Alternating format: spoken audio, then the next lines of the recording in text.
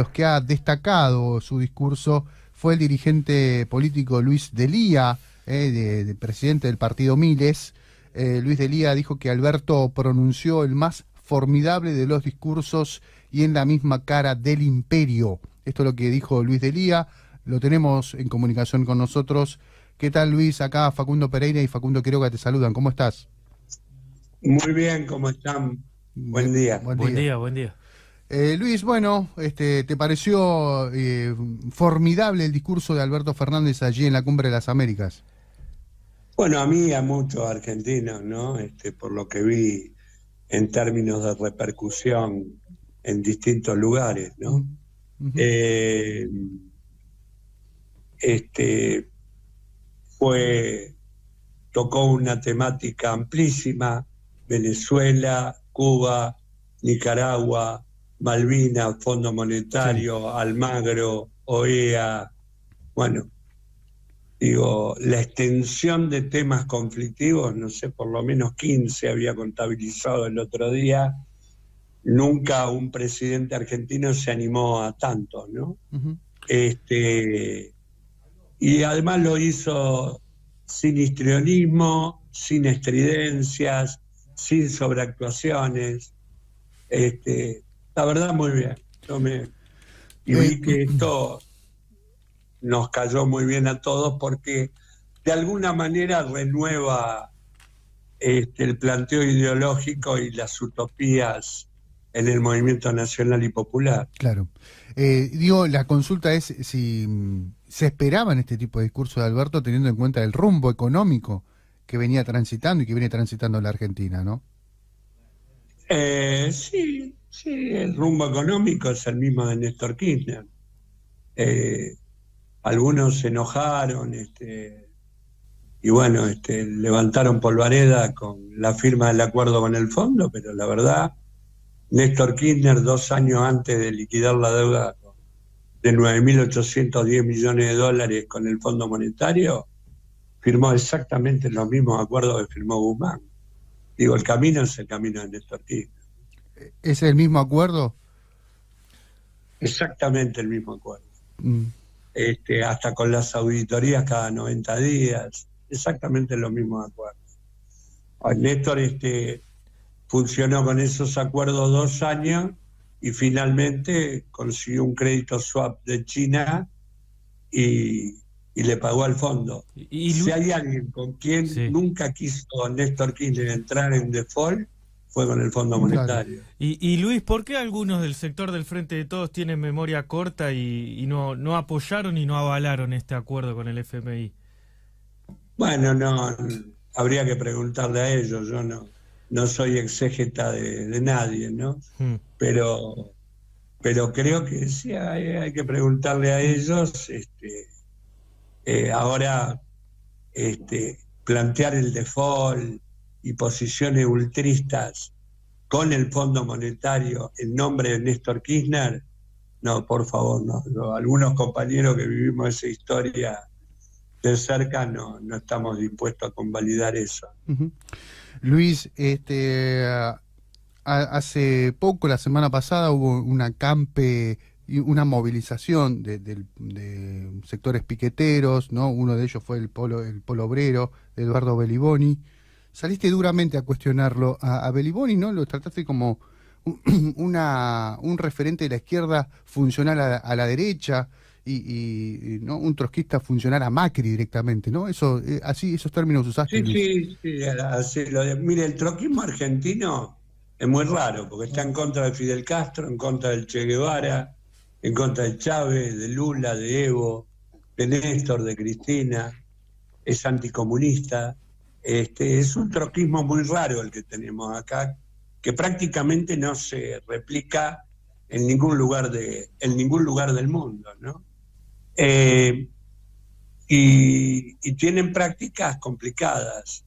A ver, cobrarle a cada beneficiario 3, 4 mil pesos, se lo dije en la cara a Beligoni, es un acto repudiable, ¿no? Absolutamente repudiable. ¿Qué, sería esto? ¿Le sacan tres lucas o cuatro lucas del plan? Claro, el plan, sí. Pero claro, es como si no, si no la gente no paga, este, le retienen las tarjetas de débito. Digo, al más puro estilo de la, de la forestal, ¿no? Mm. De la forestal. Eh, y, claro, eh, ellos recibieron de mano del macrismo cuando hablo, hablo del troquismo en general. Eh, Macri les dio 200.000 planes al, troquismo. Hoy, fíjense, mientras Macri y el macrismo, sobre todo el sector financiero del macrismo, golpea el tipo de cambio, ellos golpean en la calle. Mm. Vuelvo a la raza Beligón y te dice que el culpable de la inflación es Alberto Fernández. No son los formadores de precios. Por lo tanto, bueno, es hora de sacar caretas y terminar con estas mentiras que, digo, cuando vos, tus acciones políticas en la calle y en el debate público son funcionales a la derecha, es porque, bueno, este, está todo más claro. Ahora, Luis, ¿cómo vos interpretás cuando la derecha, en este caso, eh, a ver, el Frente Juntos en su totalidad, bueno, ahora se suma Javier Milei, eh, están pensando de acá al 2023 eliminar los planes sociales en una Argentina que la verdad está, está devastada por todos lados. ¿Qué, ¿Qué, sensación te da a vos cuando escuchás esa, esas situaciones? De una, de una enorme irresponsabilidad este, hoy el Estado argentino protege a 22 millones de, ciudadanos.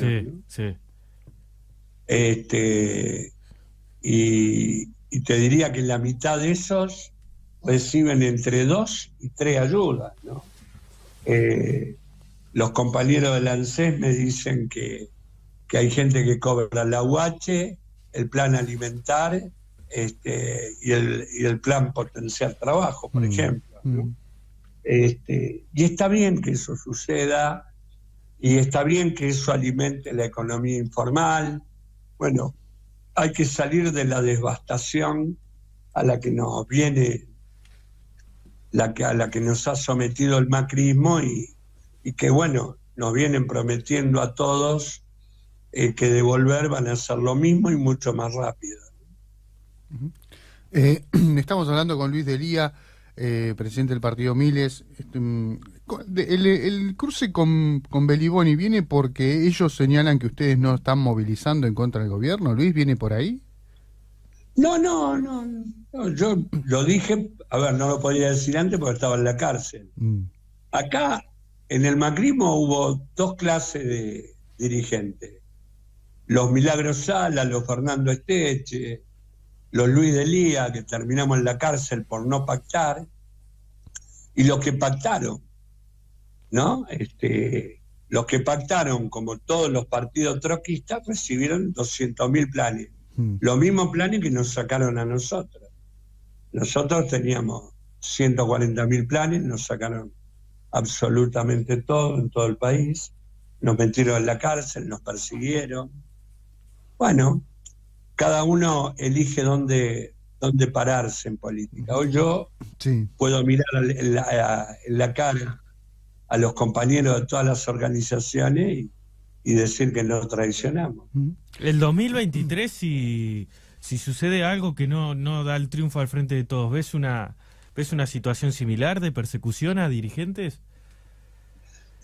La situación está, está ahora, ¿no? Está ahora, está complicada eh, ahora. Yo creo que ahora van a volver a insistir a ir sobre Cristina mm. eh, en los próximos dos meses, sobre todo la causa vialidad, que es una causa que yo vengo poniéndole la lupa. este, pero pero creo, creo que sí, que la, la metodología es la, la persecución. Ahora, cuando yo veo el derrumbe de mi ley y las peleas en el Frente para el Cambio, y, este, eh, a ver, en el conurbano vos pones a cualquier dirigente del Frente para el Cambio y la gente sale corriendo. Mm. Este, digo, nosotros con una moderada unidad, respetando el debate interno, este, haciendo paso, ensanchando nuestra base Electoral, sí. Eh, estoy seguro de que de que vamos vamos a una nueva victoria el año que viene un, con un Alberto que va camino a tener 3,5 de inflación en agosto y paritarias al 60, ¿no?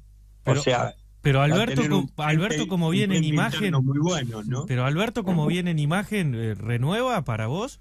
¿O va a ser otro dirigente en el consenso del Frente de Todos? Si es que se da el consenso también, ¿no? Claro. Bueno, Porque es a veces hay temprano mucha mezquindad. todavía para discernir. Es temprano, porque él viene haciendo cosas. A ver, lo de la cumbre de las Américas, un enorme papel. La economía de acá a fin de año va a remontar mucho, con indicadores macro que, que bueno, la gente, la gente va a saber valorar en tiempo y forma. A mí de expectativas electorales me gustaría hablar en diciembre, ¿no? ahora. Bueno, Bien. bien. Eh, otra pregunta que tengo, porque también te manifestaste en esto que está sucediendo, que los medios de comunicación le da mucha trascendencia, como que responsabiliza mucho al gobierno por este avión Sí. eh, ira- iraní, venezolano. venezolano. Vos manifestaste que es eh, Mm. servicios de inteligencia de Estados Unidos e Israel que operan detrás de bueno de, de los medios masivos de comunicación. Están trabajando para instalar una bomba de humo. A ver, ¿cuál es el delito? Hay cinco ciudadanos iraníes que no tienen la alerta roja, que no están imputados de nada en la Argentina. Este, ya a esta altura no se entiende bien por qué está retenido el avión, ¿no? Mm. Este, digo, ¿por qué? Porque son iraníes, la. ¿verdad? Tiene, tiene mucho, mucho olor a bomba de humo. ¿eh? Claro, pero además se le, se le pega al gobierno, pero, a ver, eh, actuó en consecuencia el gobierno. Allanó el hotel, Sí, prohíbe la salida hasta que se registren de, de los tripulantes del mismo. Eh, A ver, hizo todo, a ver, montaron un Joe Wolf, sí, sí. las usinas de la derecha, la inteligencia de Estados Unidos, Israel está detrás de los grandes medios mm, y detrás de las acciones que están haciendo los legisladores del Frente para el Cambio. Ahora, ¿qué es todo esto? Humo, porque no hay nada. claro. no hay ningún imputado, no hay este en una causa que, que, bueno, ya hoy está cuestionada hasta por los propios familiares de la AMIA. Mm. Luis, gracias por estos minutos, ¿eh? siempre un gusto escucharte. Bueno, muchas gracias a ustedes. Gracias.